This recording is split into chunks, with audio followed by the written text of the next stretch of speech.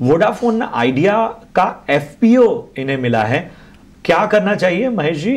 Vodafone Idea का FPO लगा इन्हें। डेफिनेटली uh, अभी मार्केट का जो चाम है वो वोडाफोन एफपीओ के लिए काफ़ी ज़्यादा अट्रैक्टिव हो रखा है। uh, जिस हिसाब से बाइंग देख रहे हैं कल के हिसाब से और आज के हिसाब से uh, तो उसके अंदर अच्छी खासी बाइंग अपन ने ऑलरेडी देखी है। और यहाँ पे एक आज भी एक कुछ डील्स है वो भी यहाँ पे हुई है। तो यहाँ ये लेवल से एक इनको स्टॉप लॉस जो है वो मैं ज़रूर सजेस्ट करूँगा। वो करीब करीब रहेगा बारह रुपए बीस पैसा। बारह रुपए बीस पैसे का स्टॉप लॉस लगा के इसको होल्ड करिए। टारगेट आपके इसमें अठारह से बीस रुपए तक के आपको इसमें देखने को मिल सकते हैं।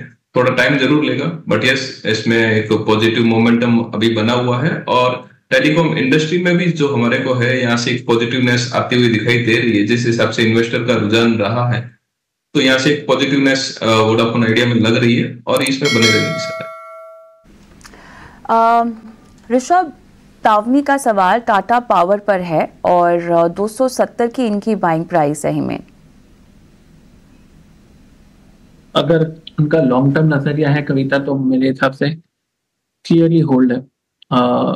फोर फोर फाइव के आसपास स्विंग हाई है। Four four four point two zero Kavita. वो ऑल टाइम हाई भी है स्विंग हाई के साथ। तो इसको पार करना ज़रूरी है।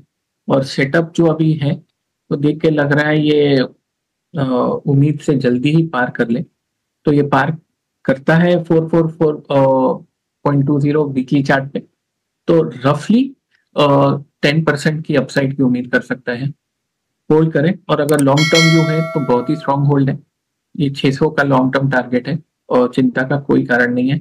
हर एक टाइम फ्रेम पे short term medium term long term stock तेज़ी में है तो।